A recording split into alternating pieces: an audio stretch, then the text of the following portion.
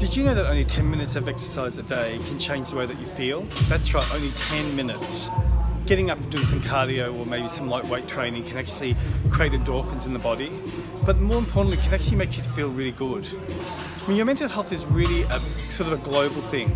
You need to look after your health, you need to eat well, you need to exercise, you need to sleep well.